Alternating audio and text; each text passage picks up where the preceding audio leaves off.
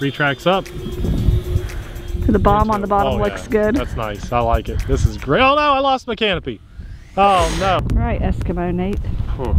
This is the FMS 1100 millimeter Zero. It's not a huge plane, but it is the biggest Zero that I've ever owned, and I'm really happy about that because I used to fly on video game simulators like Combat Sim back in the day, like the P-51 and the Zero, and it was just uh, childhood memories and you know, of course, it's just a classic World War II airplane. I love the fact that this has split flaps on the back, which is very cool. They drop down from below. You almost can't even see them until they are actually opened. And then the bomb on the bottom, which is really cool too. You could paint that up and make it look really nice if you wanted to. And then of course, the keen eye will have already seen, we have retracts with flaps that open and close too. Now, as I said, that is the Zero. This is the face of a person that is grateful to not be sick and out here flying today. Now it is super cold, so we're gonna cut right to the chase and put this in the air and see how it does. I also wanna let you guys know that I'll be testing a new transmitter today because um, things are just getting expensive. When orange juice is $7 a gallon, not everybody has $400 to spend on a transmitter to get in the air. So, you know, you're buying planes like this, you might wanna fly on a more budget-friendly radio. And my favorite of all time has always been Tactic, but they just don't sell it anymore and mine is actually showing its age and it's got some issues now, sadly. So I picked up a new radio, I wanna test it out, let you guys know how that does too. A maiden and a maiden. It's, and it's way windier than it was supposed to be. So this is, I'm really scared right now. So let's fly.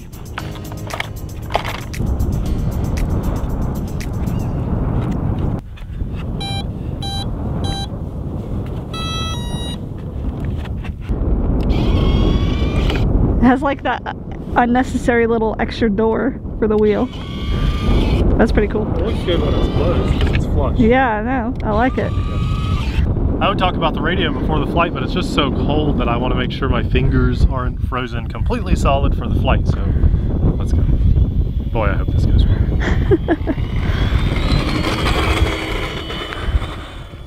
nice. Oh, pretty smooth. Yeah, that was a great takeoff, honestly, considering all the wind. This is a 3S airplane, guys, and I love the white wingtips with the big red circle for the zero. Makes it very easy to see, especially on an overcast day. Oh yeah, this is flying through the wind great. This is really good. Silky smooth, no trimming. Retracts up. The bomb on the bottom Oh, looks yeah. good. That's nice. I like it. This is great. Oh no, I lost my canopy. Oh no. Okay, it's in the grass. We're fine. We're fine. Don't it's fine. forget It's where fine. it is. Yep. You probably It's need not- to land, yeah? No, it's not affecting flight right But now. your battery. It's strapped in.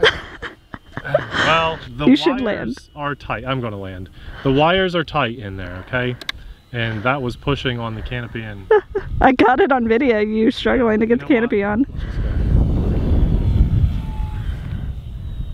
You'll try that again?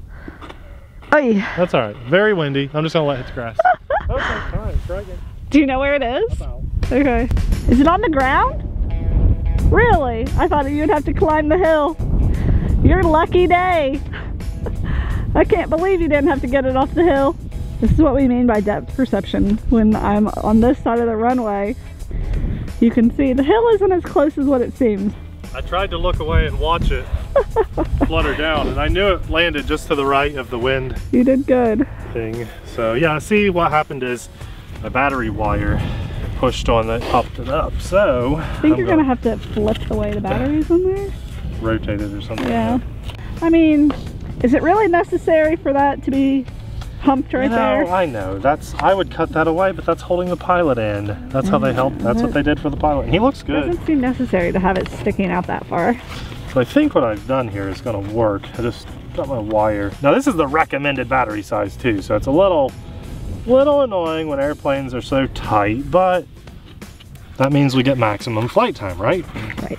So that's our new receiver. These are my frozen fingers. and I think that's going to be less I don't think so. pushy now. Looks worse. It's definitely worse. It's all your spaghetti wires of that. There, that's great. That's, that's good. that was better. Let's go. That was better than when you did your first takeoff. Yes, I agree. Nothing like a good take two. That's okay. Makes life more fun. Now we know. Get those wires really tucked in on this. Little right rudder on takeoff, but not much. That's just because it's a warbird. landing gear up. And I didn't mess with flaps because of all this wind on the takeoff or the landing. I'll show you the split flaps. Flies really good. I mean, just about probably better than I was expecting because it's a warbird. Yeah. Oh, that wind. And I'll tell you what, the one thing I didn't do with this radio was mess with uh, Expo, and I wanted to just because the layout is different and I, I felt like I was only getting one end of Expo rather than upper and lower if that makes sense. So um, when you when you start learning a new radio it's almost like learning a new language sometimes. Now tactic I've always said is the most intuitive easy to use but still advanced enough to really get the job more than done I've, I've always loved tactic but I really should stop talking about it because it's like like a dinosaur. You just can't you just can't buy it anymore. So it doesn't really do anyone any good. And then I think after that is probably Spektrum on like ease of use and user interface and stuff. Way down at the bottom is something like Taranis, just really hard to learn. Um, and then this falls somewhere between Taranis and Spektrum, I think. So as far as user interface goes, well, like the receiver and stuff, this is great. This is, I should tell you, this this radio is a well, I think it's normally 150 and I picked it up at a 130 or 135 it was on sale and I just thought this is time. It's time to, to also focus on a budget friendly radio. So that's what I got. That's what I'm flying on. The gimbals feel really good. It feels very weighty and meaty and uh, not like a cheap toy or anything and for that price you would expect it to feel cheap it has a collared backlit screen uh, we'll talk about it more later. The airplane is flying great. And that's a 3S airplane, but it has a 40 amp um, ESC in there. And so I'm gar I guarantee everybody's gonna say, Nate, you could have just flown 4S. Why don't you fly 4S? Well, I'm, I'm doing what it recommends and maybe one day I'll throw a 4S in there. Because I think most people, most people would probably start by flying on the recommended battery. And I'll be honest, here's full throttle. climbing it. We'll go on forever and snap it. Do I need 4S? I mean, that was really awesome, right? It's flying great. Flies really good. One of the better flying warbirds I've ever had my hands on. It's really good. and it comes with extra features like split flaps and retracts.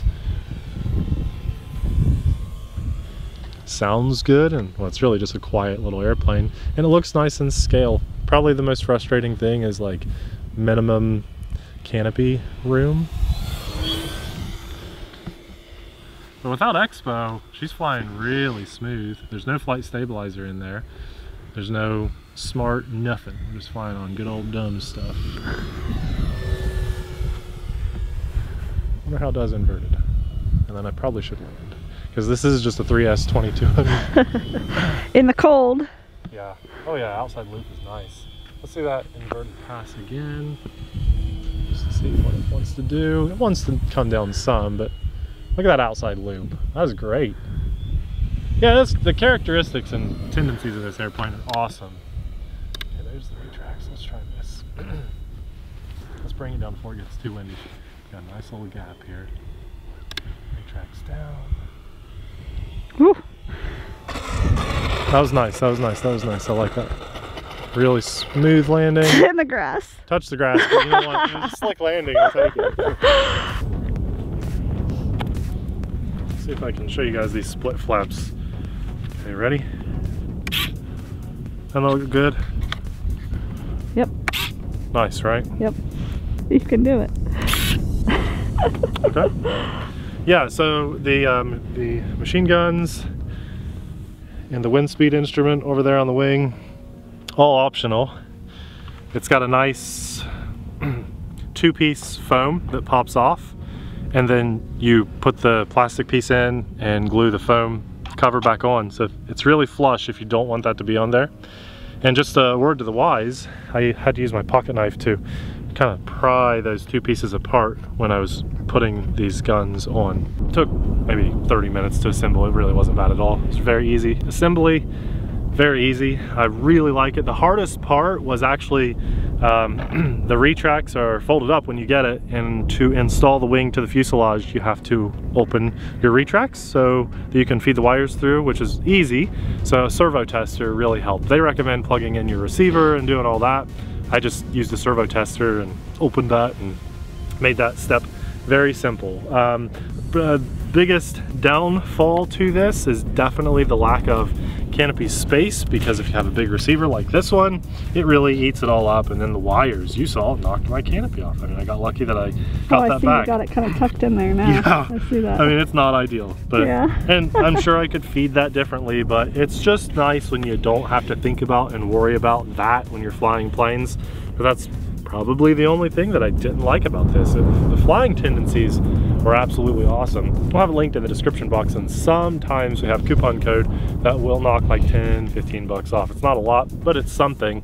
Um, and it kind of makes your time watching this video a bit more worth it. So if you guys could check it out and let us know because the way this has been working is newer releases with FMS hasn't been working, but like some older planes it has been. So do us a favor and just check it out and let us know in the comments if it seems to be working or not for you.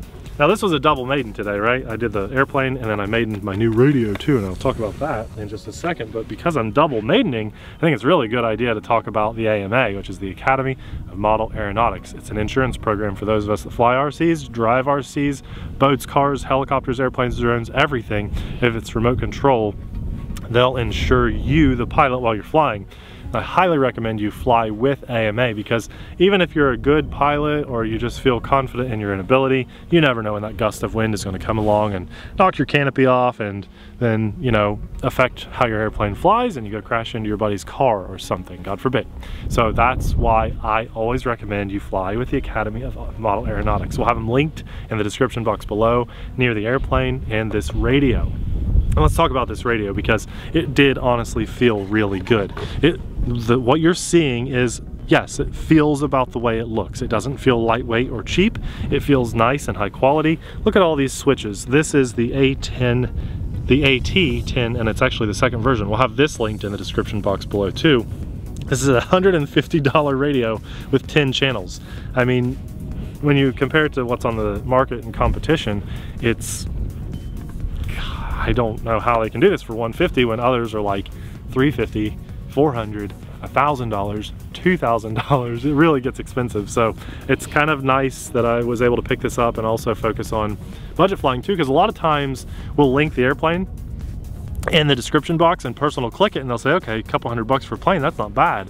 And then they'll look at the radios that we have linked and they're like, man, $400 for a radio? I gotta drop a $1,000 before I can fly. Well, not if you're flying on something like this. So I'm going to continue flying with this and continue testing it, but I didn't have any range issues, cutting out brownouts, you know, that stayed connected really well, and the gimbals do feel good. They don't feel the best that I've ever flown on, but they gotta be easily top five or so. I mean, it feels like a really nice radio, especially for the price. Before Abby and I freeze completely solid, I just wanna say a massive thanks to God for giving me a strong enough health to get out here and do this video with and for you guys. It's been a very rough couple of weeks. It's been a very rough month actually with Amelia's scares we've had. Abby got sick, probably picked something up from the hospital, and then we thought she was good and passed it on to me. So this last week we've only had like two videos and that's why we've all just been sick. Today's the first day we've had good weather and I've had enough strength to get out here and do a video. So I'm very thankful to God. I'm also thankful to our Patreon supporters because of you guys, even when we're not doing videos, you're supporting us. And that really means the world to us. And we wanna thank you guys from the bottom of our hearts for supporting our channel and our family. If you like warbirds, Abby and I will have a hand-picked warbird video popping up right about now. Thanks for watching. We'll see you there. Bye.